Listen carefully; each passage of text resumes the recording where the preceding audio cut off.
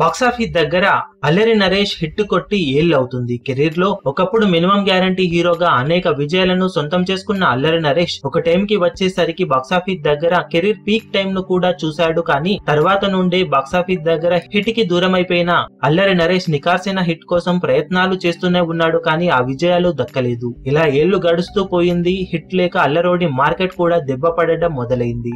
దాంతో recent movies కనీస ఓపెనింగ్స్ని కూడా తెచ్చుకోలేకపోయాయి. బాక్సాఫీస్ దగ్గర రీసెంట్ టైంలో బంగారు బుల్లోడుతో వచ్చిన అల్లరి నరేష్కి ఆ సినిమా పూర్తి నిరాశనే మిగిలించి అట్టర్ ఫ్లాప్ రిజల్ట్ను ఇవ్వగా మళ్ళీ ప్రేక్షకుల ముందుకు ఫుల్ కాన్ఫిడెన్స్తో వచ్చాడు అల్లరి నరేష్. ఆ సినిమానే నాంది.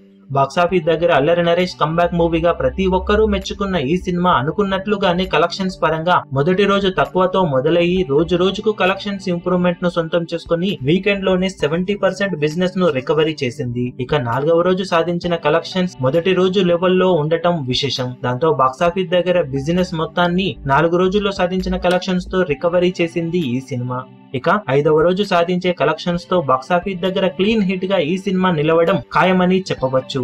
దాదాపుగా బాక్సాఫీస్ దగ్గర తొమ్మిదేళ్ళ తర్వాత అల్లరి నరేష్ ఇప్పుడు క్లీన్ హిట్ కొట్టడానికి సిద్ధమయ్యాడని చెప్పవచ్చు. దాంతో ఈ తరుణం కోసం అందరు హీరోల ఫ్యాన్స్ కూడా ఆశగా ఎదురు చూస్తున్నారని చెప్పాలి. ఇక ఈ రోజు సాధించే కలెక్షన్స్తో నాంది సినిమా బాక్సాఫీస్ దగ్గర బ్రేక్ ఈవెన్ను కంప్లీట్ చేసుకుంటుందో లేదో చూడాలి.